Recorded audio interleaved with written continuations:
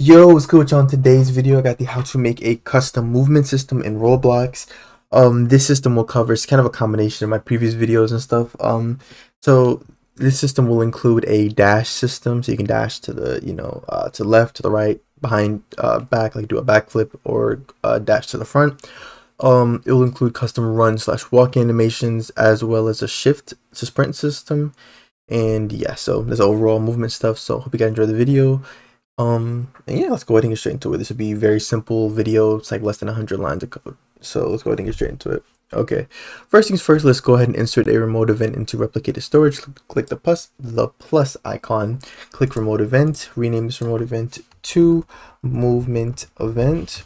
Then we're going to open up starter player. You're going to insert a local script into starter player scripts. Rename the script to movement script. In parentheses, put local.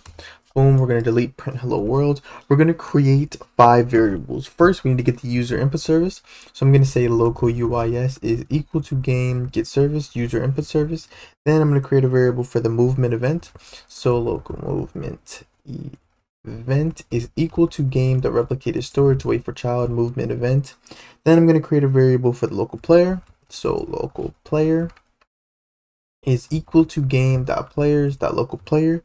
then I'm going to set up some stuff for the dash system. So first things first, I'm going to say, um, oh, actually, um, I, I don't, yeah, I don't really need this. So yeah, I don't really need that part anymore, actually. So, okay, here's what we're going to do. We just got to create a variable for the dash direction. So let's say local uh, dash direction is equal to, it's going to be a string. So just uh, blank quotation marks for now. Then we're going to set up the first function. We're going to say UIS that input began connect function in parentheses put input comma processed enter. Then you're going to say if input dot key code is equal to enum or sorry sorry not key code dot user input type is equal to enum dot user input type dot keyboard and not process which pretty much means the player is not typing in chat enter then if input dot key code is equal to enum dot key code dot here's where you would put your uh your sprint keybind so i don't know whatever you want and stuff. You, most games is usually just left shift so that's what i'm gonna go with.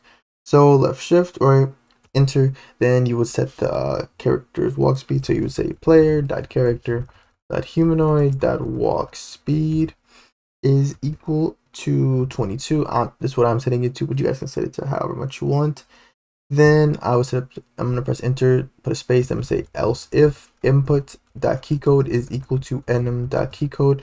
Then here we're setting up the dash system. So you're just gonna go for the four movement keybinds, W, A, S, and D. You know, the, key, the keybinds to go forward, to the left, to the right, and to the back. So we're gonna, you know, W, and then we're, we're gonna put OR, and then um we could just copy and paste Control C, Control V, Control V, and Control V then delete that, enter, right?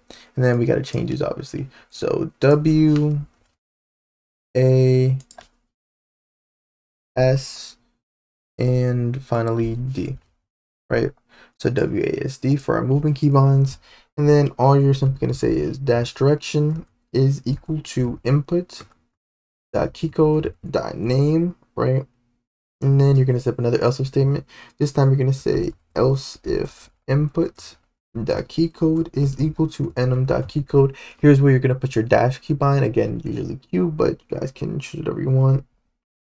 And then you're gonna say and player dot character dot is running that value is equal to true, right?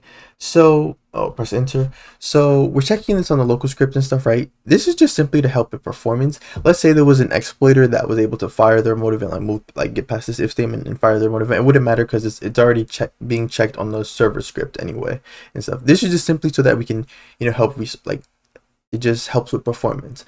So for example, if someone is trying to dash when they're, they just dashed like half a second ago, right? It would read on the local script that they um that they are not able to right now, so it wouldn't fire their mode event. Worst case, if there was an exploiter that was able to bypass it, then they would just fire their mode event multiple times, but nothing would actually happen since it's being checked both locally and on the server side. So from here, um, we fire the mode event, so movement event, fire server, in quotation marks, name of the event is dash, then comma, send over the dash direction, right? And then that's it for that. We can then set up a second function. We're going to say UIS that input began, connect, or sorry, not input began, input ended, connect function, and parentheses, same thing, input, comma, processed. Enter, you're then going to say if input dot user input type is equal to enum dot user input type dot keyboard and not processed. Enter. Then if input dot keycode is equal to enum dot keycode, then the same keybind you use for the sprint. So left shift. So when so when you stop pressing that keybind and press enter, we're going to say player dot character that humanoid that speed is set back to whatever your default walk speed is. Then we can move on to the server script. So just explain two things before we actually move on to there. First things first, I do have two sounds in the sound service. One's a dash sound, the other's footstep sound, except for when I'm walking. Um, wait, did I ever actually? I don't think I. Yeah, I think about it, I don't know if I ever played. Yeah, I don't know if I ever really played this on. I guess we could really.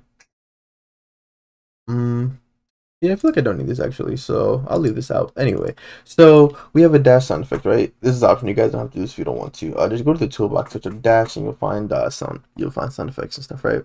And then inside server script service, I have a whole bunch of animation that you guys can clearly see. We're gonna put these inside of the script. So click the plus icon. You're gonna want to insert a server script. Rename that script to movement script. In parentheses, put server, right? And then you're going to want to insert all of these animations into it. So as you can see, I have five animations. So one is the walk slash run animation and stuff, and then the other four are the dash animations for each direction and stuff. You guys can't use my animation IDs. You guys have to use your own. You can go to the toolbox, find your own animations. I do not make animations. I just got these from the toolbox. So then I'm going to delete print hello world. We need to get three variables. First, we're going to get the debris service. So local ds is equal to game get service. Debris, then get the sound service. Local ss is equal to game get service sound service, right? Then I'm going to create a variable for the movement event, just like we did in local script. So local move movement event is equal to game that replicated storage, wait for child, movement event, right? Then I'm going to set up the first function for when players join the game. I'm going to say game dot players dot player added connect function in parentheses put plr register for the player enter then you're going to set up the next function you're going to say player dot character added connect function in parentheses put character enter then going to create the can dash and is running bool values. So first first we'll create the can dash. So can dash as the name implies we're going to use this to check to see if a player is able to dash. This is going to be our cooldown right? Or how we'll check to see if the player is on cooldown. So it's going to be a bool value. So instance.new bool value, parent this to the player's character because we want this to reset every time they die. So can dash dot name is equal to the same thing. Can dash by default, can dash value should be set to true. And then we can really just copy and paste it here. So some time. Control C. Oh my bad. Control V. Then you're just gonna wait. You're just gonna want to rename this to is running. So this is how we know if a player is running. and then we're just going to copy and paste this. So control C, control V, control V, control V. Now this time you want to set this, this one's value to false. And then we're going to update the player's animations so that uh, they have custom walk animations. So we're going to say character dot idle dot animation one dot animation id is equal to quotation marks rbx asset id colon two forward slashes and then you're just gonna put your uh, animation here. So i'm gonna just get mine. I'm just get mine. Um i'm trying to think actually.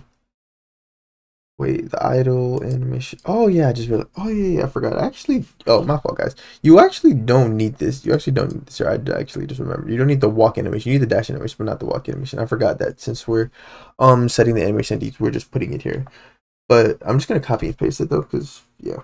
So I'm say one seven six. This is my ID by the way. So two one zero seven eight nine eight, and then you can really just copy and paste this three more times. So Control C, Control V, Control V, Control V. Then for the second one, you're just gonna change this part right here to animation two. ID is the same. And then the second one is when we get into the actual uh, run. So run, then run anim and then here is what I'm going to change is the ID, right? So walk animation. Um, so I don't need this, so I'm actually just delete that. So I'm gonna just set this to the ID. So it was 176. Yes, actually it's very similar.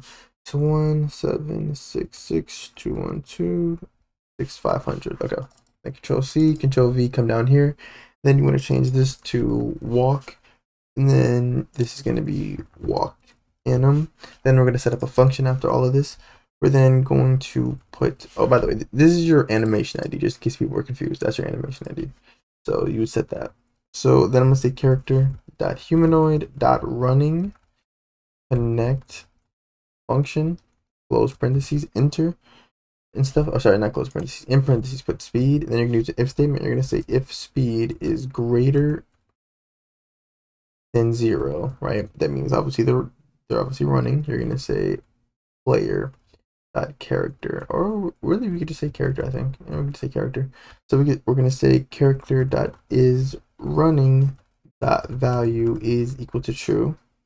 And then we're going to say else which means the speed is is uh, less than zero which means they're no longer running so then we would say character dot is running dot value the opposite so is equal to false right then we're done we're done with this whole function and now we can move to the second and last main function so let me just double check to make sure. Okay, I'm good.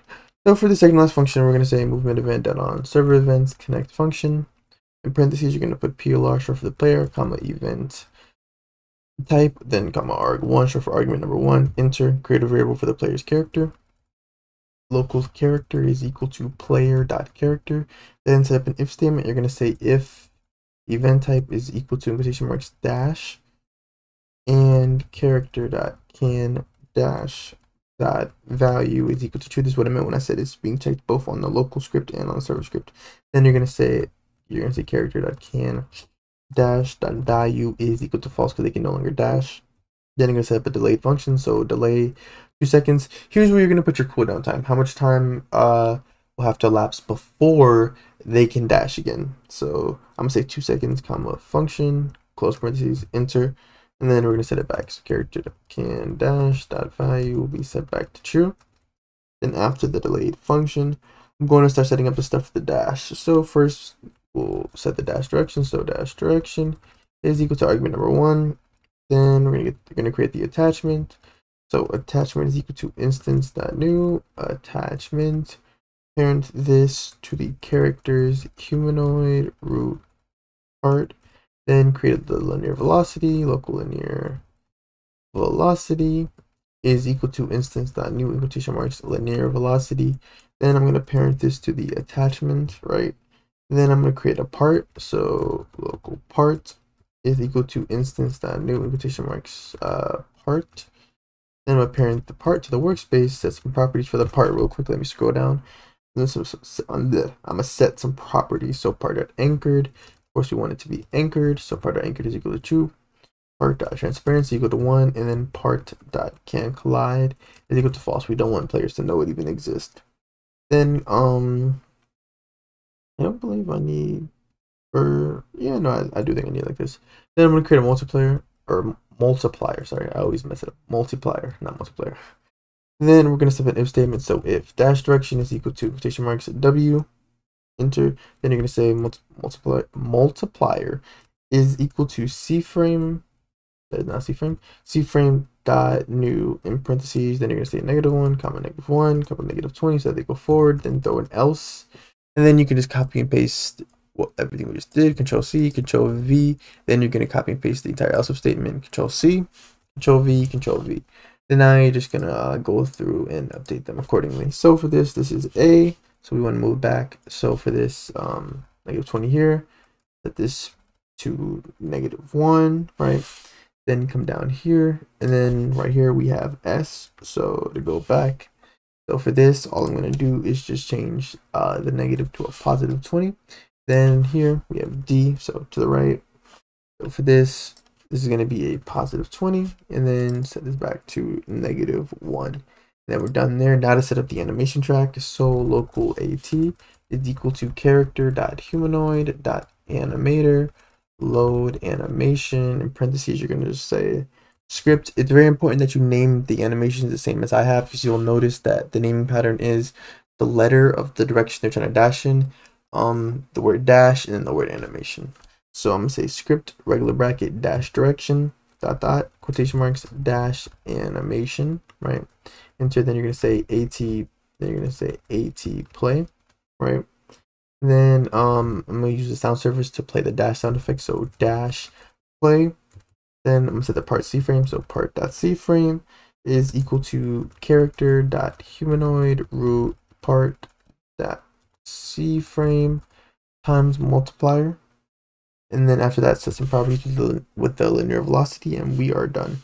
So linear velocity dot max force is equal to five nines, one, two, three, four, five. Then linear velocity dot vector velocity is equal to, in parentheses, you're going to say part dot position minus character dot humanoid root part dot position. Then go on the outside and say die unit times vector 3 dot new. In parentheses, you're going to say 100 comma 0 comma 100.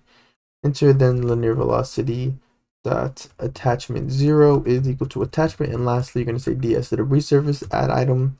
You're going to add the attachment. Oh, sorry, not the animation track attachment comma 0.1 seconds so it'll you after 0.1 seconds hey we can go ahead and test to make sure this works as always if you guys want access to any one of my scripts or models you guys can become either a channel member or a discord subscriber link to either one of those options can be found in the description highly recommend that okay so as you guys can clearly see when i'm as i'm walking you can see this is clearly not the default roblox and roblox walk animation stuff. So i got the custom walk animations and stuff right? And then I have my shift locked on. So okay, I just want to clarify something. So if you're um if your uh what, what is it called? If your shift like shift to sprint keybind is left shift and you have on uh what is this called? I forgot what this is called shift lock yeah if you have on if you have shift lock enabled you have to disable this setting to be able to uh for it to be able to recognize uh you holding down shift and stuff because it thinks it's just assigned here or well no it is just assigned here so i'm gonna test the, the uh the dash system first so Oh, unable to assign property attachment object expected constraint. Oh, my bad. How did I literally mess up? Okay, so as I'm pretty sure you guys heard me say that it was supposed to be attachment. How did I literally mess up on, the, on like almost the last line of the script? Okay, so boom, front dash, side dash, well, other side dash, and then back dash. Okay, and then let me oh let me test cooldown. Okay, perfect. There's a cooldown. Okay, very nice. All right, now I'm gonna disable the uh, shift lock thing, and then now I'm gonna test the shift to sprint. So you'll notice if I hold down shift, you'll see my player uh, speed increase. So yeah, we have we have a custom movement system, shift to sprint, custom walk slash run animations, as well as the dash system stuff. I hope you guys enjoyed the video. If you did, definitely like, subscribe. Um, thank you guys for all the love and support you guys been showing the channel. I really do appreciate it. We are on the way to uh, what are we on the way to? I think on the way to uh, yeah 12,000 now. Sorry. You, you guys just be going crazy with love and support. I really do appreciate it because I swear it's like I was just celebrating 10k two weeks ago now on the way to 12k thank y'all so much. I really do appreciate it. And I'll see you guys in the next video. Thank y'all for watching